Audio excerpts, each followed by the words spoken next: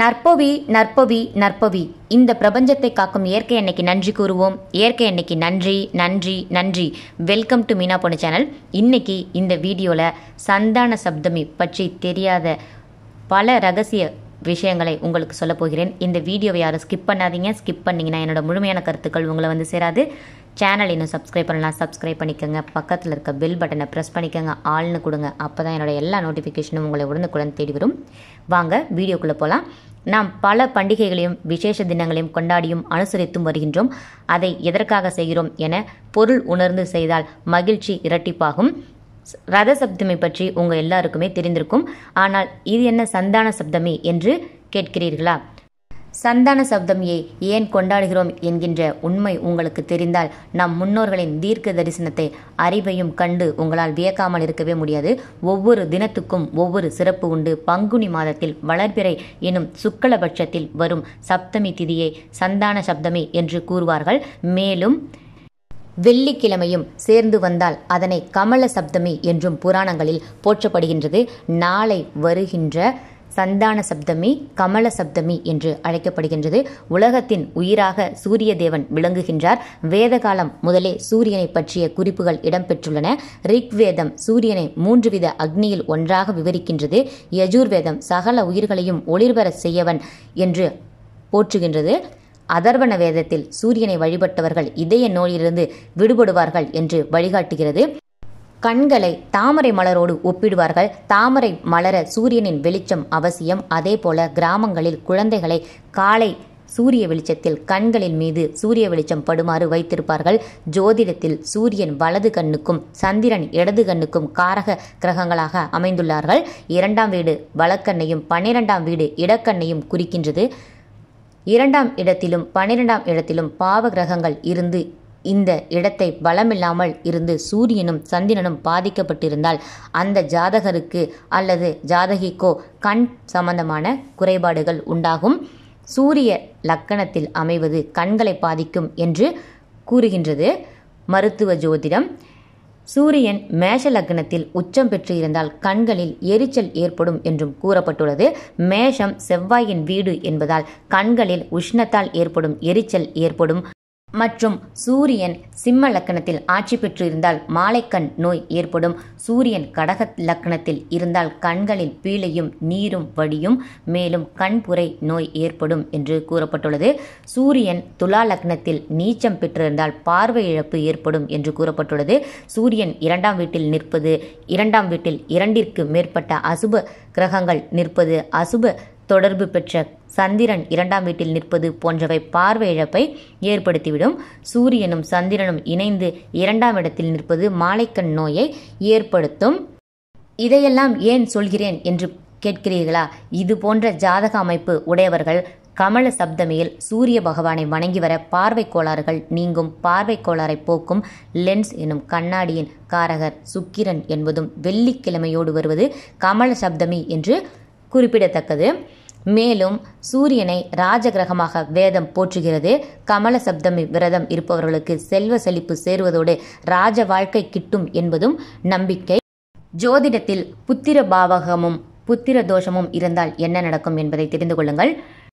சீக்கிரமேவ சத்புத்திர பாக்கிய பிராப்திரஸ்து என்று திருமணமான பெண்ணை வாழ்த்தும் போது அவர் அளவிட முடியாத மகிழ்ச்சி அடைவார்கள். திருமணத்திற்கு பின்பு சில பெண்களுக்கு பத்தாவது மாதத்திலேயே இந்த பாக்கியம் கிடைத்து விடுகின்றது. ஒரு சிலருக்கு ஒரு வருடமோ இரண்டு வருடமோ தள்ளி குழந்தை யோகம் அமைகின்றது. இன்னும் சிலருக்கு எட்டு பத்து வருடங்கள் கழித்து தான் குழந்தை பேர் இருக்கின்றது. சிலருக்கு குழந்தை பாக்கியம் இல்லாத நிலையும் ஏற்பட்டு விடுகின்றது. ஜாதகத்தில் ஐந்தாம் பாவம் அல்லது ஐந்தாம் வீடு புத்திர பிராப்தியை குறிக்கும். குழந்தை பாட்டன் வம்சாவழியினர். பாட்டிகள் பூர்வ புண்ணியம் மனம் எண்ணம் காதல் சந்தோஷம் அதிர்ஷ்டம் யோகம் போட்டி இஷ்ட தெய்வம் சிற்றின்பம் மந்திர உச்சாரணம் உபாசனை அதாவது இஷ்ட தெய்வம் மற்றும் வழிபாடு திருவிழா கோலங்கள் மன திருப்தி ஆகிய பாவ கிரகங்களை தன்னகத்தே கொண்டது ஐந்தாம் பாவமாகும். எனவேதான் இதனை திரிகோண ஸ்தானத்தில் ஒன்றாகவும் லக்ஷ்மி ஸ்தானம் எனவும் கூறப்படுகின்றது. குரு புத்திகாரகன் ஜாதகத்தில் குரு கெடாமல் இருந்தால் குரு புத்திர ஸ்தானத்தையோ புத்திர ஸ்தானாதிபதியையோ பார்த்தால் அவர்களுக்கு நிச்சயம் குழந்தை பேர் இருக்கும். குரு புத்திர ஸ்தானத்தில் இருந்தாலும் குழந்தை பேர் இருக்கும் என்று சில ஜோதிடத்தில் கூறுகின்றது. சில லக்னக்காரர்களுக்கு குரு பாவியாவதால் அவர் புத்திர ஸ்தானத்தில் நிற்பதை நம்மால் என்றும் அப்படியே ஏற்றுக்கொள்ள இயலாது. ஒரு ஜாதகத்தில் குரு ஆறு எட்டு பன்னிரண்டு அல்லது பாவராக அமைந்தாலும் அவர் புத்திரஸ்தானமான ஐந்தாம் வீட்டில் நிற்கக்கூடாது. அவ்வாறு நின்றால் காரகோ பாவ நாஸ்தியையும் தந்து மேலும் புத்திர தோஷத்தையும் அதிகமாக்கிவிடும். சிலருக்கு திருமணமான புதிதில் குழந்தை இருந்து பிறகு ஏதோ காரணத்தால் குழந்தையை பிரிந்தவர்களெல்லாம் இந்த அமைப்பு பெற்றிருப்பார்கள். மொத்தத்தில் புத்திரஸ்தானத்தில் அவர் நிற்பதை விட புத்திரஸ்தானத்தையோ புத்திர ஸ்தானாதிபதியையோ பார்ப்பதே சிறந்த நிலையாகும். ஜாதகத்தில் முக்கியமாக கவனிக்கப்பட வேண்டிய ஜாதக கட்டம் ஒவ்வொன்றிற்கும் ஒரு ஆதிபத்தியம் உள்ளது. அந்த வகையில் ஐந்தாம் இடம் குழந்தை பாகியத்தை குறிக்கின்றது. அந்த வீட்டின் அதிபதியும் மிக முக்கியம். ஒரு பெண்ணின் ஜாதகத்தில் ஐந்தாம் இடத்தையும் ஒன்பதாம் இடத்தோடு நான்காம் வீட்டையும் பார்க்க வேண்டும். இந்த நாலு ஐந்து ஒன்பது ஆகிய வீடுகள் பலம் பெற்றும் அந்த வீட்டிற்குரிய கிரகங்கள் நீச்சம் அடையாமலும் ஆறு எட்டு பன்னிரெண்டில் மறையாமலும் இருப்பது அவசியமாகும். நீச்ச கிரகத்துடன் சேராமல் இருப்பது மிக மிக முக்கியமாகும். ஆண் பெண் இருவரின் ஜாதகத்திலும் குரு செவ்வாய் சுக்கிரனின் பங்களிப்பு மிகவும் முக்கியமானதாகும். குருவிற்கு புத்திர பாக்கியம் தருவதில் மிக முக்கிய பங்கு உண்டு. ஏனென்றால் குரு புத்திரகாரகன் அவர் அதாவது புத்திர யோகத்தை தரக்கூடிய அதிகாரம் பெற்றவர். செவ்வாய் அருளால் தான் தாம்பத்தியத்தில் முழுமையாக ஈடுபட முடியும். பெண்களின் மாதவிடாய் பிரச்சனைகளுக்கு காரணமாக இருப்பவர் இவர். பெண்கள் பூ பெய்வதற்கும் இவரே முக்கிய காரணமாகும். இரத்த சம்பந்தமான நோய்கள் இவர் மூலம் உண்டாகும். சுக்கிரன் சிற்றனுபத்தில் நாட்டம் கொள்ள செய்வார். திகட்டாத தாம்பத்தியத்தையும் ஈர்ப்பு சக்தியும் தரக்கூடியவர் ஆண்களின் சுக்கிலத்திற்கு பெண்களின் சுரோணத்திற்கும் இவரே காரணகர்த்தா. ஒரு தம்பதியின் ஜாதகங்களில் இந்த மூன்று கிரகங்கள் நல்ல வலிமையுடன் ஆட்சி உச்சம் கேந்திரம் திரிகோணம் பெற்று நல்ல அம்சத்தில் இருந்தால் விரும்பிய புத்திர யோகம் தானாக கூடி வரும். ஜாதகத்தில் ஒன்று ஐந்து ஒன்பதுக்குடைய கிரகங்கள் அசுப தொடர்பு பெறாமல் இருப்பது மற்றும் காலபுருஷனுக்கு ஒன்று ஐந்து ஒன்பதுக்குடிய சூரியன் செவ்வாய் குரு ஆகிய கிரகங்கள் நல்ல நிலையில் இருப்பது புத்திர பாக்கியத்தை தடையில்லாமல் தரும் அமைப்பாகும். புத்திர பாக்கிய தடை ஏற்படுத்தும் அமைப்புகள் ஆண் பெண் இருவரின் ஜாதகங்களிலும் ஏதாவது ஒரு குறை இருந்தால்தான் குழந்தை பாக்கியம் தடைப்படும் இருவரில் ஒருவருக்கு பலம் இருந்தால் தடைகள் நீங்க மிகவும் அதிக வாய்ப்புகள் உள்ளது. லக்னத்திற்கு ஐந்தாம் இடம் புத்திர பாக்கியம் தரும் இடம். ஐந்தாம் அதிபதி புத்திர ஸ்தானாதிபதி ஆவார். இந்த இரண்டும் பலமாக இருப்பது அவசியம். ஐந்தாம் இடத்தில் ராகு கேது இருந்தால் புத்திர தோஷம் நீச்ச கிரகம் இருந்தால் புத்திர தடை ஏற்படும். காலபுருஷனுக்கு ஐந்தாம் வீடான சிம்ம ராசியில் அசுப கிரகங்கள் இருப்பது சூரியன் சர்ப்ப கிரகங்களின் பிடியில் இருப்பது சூரியனும் சுக்கிரனும் நெருங்கிய பகையில் நிற்பது போன்றவை புத்திர பேரை தாமதப்படுத்தும் அமைப்பாகும். ஐந்தாம் வீட்டோடு ஆறு எட்டு பன்னிரெண்டாம் அதிபதிகள் தொடர்பு கொண்டு இருந்தால் கருச்சிதைவு. ஐந்தாம் அதிபதி நீச்சம் அடைந்தால் புத்திர தோஷம். ஐந்தாம் அதிபதி ராகு கேதுவுடன் சேர்ந்தால் புத்திர தடை. ஐந்தாம் அதிபதி நீச்ச கிரகத்துடன் சேர்ந்தால் புத்திர தோஷம். ஐந்தாம் அதிபதி குருவும் பலவீனமடைந்தால் புத்திர தடை. ஐந்தாம் இடத்தில் குரு காரகோபாவ நாஸ்தியை தந்து தாமதமாக குழந்தை பிறக்கும். குரு புதன் வீடான மிதுனம் கன்னியில் இருந்தால் தாமத புத்திர பாக்கியம் ஐந்தாம் இடத்தில் சூரியன் இருந்து செவ்வாயை பார்த்தால் கருச்சிதைவு. ஐந்தாம் இடத்தை ரிஷபம் கடகம் துலாம் ஆகிய ராசிகள் பார்த்தால் சூரியன் சந்திரன் பார்த்தால் பெண் குழந்தைகள் அதிகம் பிறக்கும். ஆண் ஜாதகத்தில் விருச்சிக ராசியில் சூரியன் சுக்கிரன் சேர்ந்து இருந்தால் புத்திர தடை ஏற்படும். ஐந்தாம் அதிபதியும் ராகுவும் சேர்ந்து ஆறு எட்டு பனிரெண்டில் இருந்தால் தத்து புத்திரயோகம் உண்டாகும். ஆண்கள் ஜாதகத்தில் நபும்ச கிரகங்கள் என்று சொல்லப்படும் ஆண்மை குறைவான கிரகங்களான புதனும் சனியும் சேர்ந்து லக்கணம் மூன்று ஏழு ஆகிய இடங்களில் இருந்தாலும் பார்த்தாலும் விந்தணு குறைபாடுகள் வீரிய குறைபாடுகள் ஏற்படும். இதனால் குழந்தை பாக்கிய தடை ஏற்படலாம். அல்லது அங்க குறைவுள்ள குழந்தைகள் பிறப்பதற்கு வாய்ப்புகள் உள்ளது. ஜாதகத்தில் மிதுனம் மற்றும் கன்னியை ஐந்து மற்றும் ஒன்பதாம் பாவமாக பெற்றவர்களுக்கு குழந்தை பேறு தாமதமாகும். குழந்தை பிராப்தம் கிடைக்கும் காலம் எல்லா கிரக அம்சங்கள் யோகம் பிராப்தம் இருந்தாலும் அதை அனுபவிக்கக்கூடிய நேரம் காலம் வர வேண்டும். குழந்தை யோகமும் அப்படிதான். கணவன் மனைவி இருவருக்கோ அல்லது ஒருவருக்கோ லக்னாதிபதி நான்காம் அதிபதி ஐந்தாம் அதிபதி ஒன்பதாம் அதிபதி ஆகியோரின் தசாபுக்தி பொறுத்தே குழந்தை பாக்கியம் கூடி வரும். ராகு கேது திசைகளில் யோகாதிபதிகளின் புத்தியில் சந்ததி விருத்தி ஏற்படும். மற்ற தசாபுத்திகளின் தடைகள் கர்ப்பச்சிதைவு ஏற்பட்டால் உரிய பரிகார தலங்களுக்கு செல்வதன் மூலம் சத்புத்திர யோகம் உங்களுக்கு கிடைக்கும்.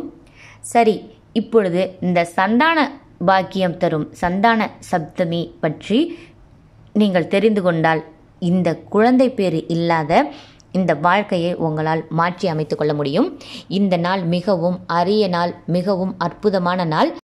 வருகின்ற ஏப்ரல் மாதம் எட்டாம் தேதி வெள்ளிக்கிழமையன்று சந்தான சப்தமே வருகின்றது. இந்த நாளில் நீங்கள் சூரியனை நினைத்து இப்பொழுது நான் சொல்லும் வழிபாட்டை செய்தால் நிச்சயம் உங்களுக்கு குழந்தை பேறு உண்டாகும். சூரியனை ஆத்மகாரகன் என்று பாரம்பரிய ஜோதிட நூல்கள் கூறுகின்றன. மேலும் ஒரு ஆன்மா உருவாக சூரியனின் நிலை முக்கியமானதாகும். மேலும் ஒருவருடைய சுக்லத்தில் உயிரணு வளரவும் பல்கி பெருகவும் சூரியனின் வெப்பம் மிகவும் இன்றியமையாததாகும். எனவே எந்த காரணங்களால் புத்திர தோஷம் ஏற்பட்டாலும் சந்தான சப்தமியில் சூரிய பகவானை வணங்குவது புத்திர தோஷத்தை நீக்கி சத்புத்திர யோகத்தை உங்களுக்கு வழங்கும். நாளை சூரிய பகவானை நினைத்து விரதம் இருந்து நீங்கள் செந்தாமரை மலரால் அர்ச்சனை செய்து கோதுமையால் செய்யப்பட்ட பதார்த்தங்களை படைத்து வணங்கினால் மனதில் உள்ள சலனங்கள் கவலைகள் அனைத்தும் மறையும். புத்துணர்ச்சி கிடைக்கும். ஒருவரது ஜாதகத்தில் லக்னத்திற்கு இரண்டு ஏழு பத்தாம் இடத்தில் சூரியன் இருந்தால் அவர்கள் இந்த நாளில் சூரியனுக்கு விரதம் இருப்பது நல்லது. இந்த நாளை சந்தான சப்தமி என்று அழைக்கப்படுகின்றது. எனவே இன்றைய தினம் சூரியனுக்கு விரதம் இருந்து வழிபட்டால் அவரால் உருவான தோஷம் விலகி உங்களுக்கு குழந்தை பாக்கியம் கிடைக்கும். ஜாதகத்தில் ஐந்தாம் இடத்தில் சூரியன் இருந்தால் அவர்கள் இந்த விரதத்தை மேற்கொள்ள வேண்டும்.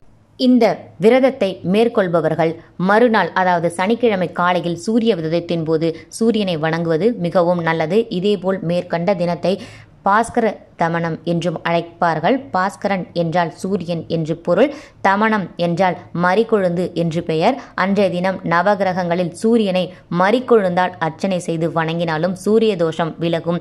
மேலும் முன்னோர்களின் பாவங்கள் விலகும். குறிப்பாக தந்தைக்குரிய தோஷங்கள் அனைத்தும் விலகும். ஒருவரது ஜாதகத்தில் சூரியன் லக்னத்திற்கு இரண்டு ஏழு ஒன்பது பத்தில் இருந்தால் அவர்கள் இந்த வழிபாட்டை நடத்துவது மிகவும் சிறப்பு.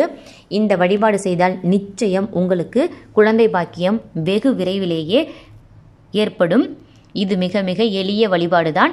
நீங்கள் சூரிய தேவனை நினைத்து செந்தாமரை மலரால் அர்ச்சனை செய்து கோதுமையால் செய்யப்பட்ட பதார்த்தத்தை படைத்து உங்கள் விரதத்தை முடித்து கொள்ளலாம். அதோடு மறிக்கொழுந்து வைத்து படைத்தால் மேலும் உங்களுக்கு கூடுதல் பலன்கள் உண்டு. உங்கள் வீட்டில் இருக்கும் அனைத்து பாவங்களும் மற்றும் உங்கள் குடும்பத்தில் இருக்கும் தலைமுறை சாபங்களும் நீங்கும் மற்றும் கண் குறைபாடுகள் கண் சம்பந்தமான நோய்கள் இருந்தால் அவை அனைத்துமே விலகிவிடும்.